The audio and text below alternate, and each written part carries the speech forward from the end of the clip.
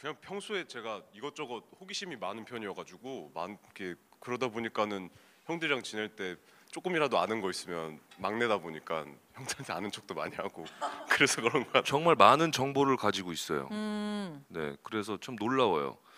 뭐 심지어는 뭐, 뭐 고기 부위부터 시작해서 와인 종류부터 해가지고 그런 위스키 종류부터 해서 정말 잘 알지를 못하는 것들을 상당히 딥하게 알고 있더라고요. 어. 의심스러운 부분들이 한두 가지가 아니었어요.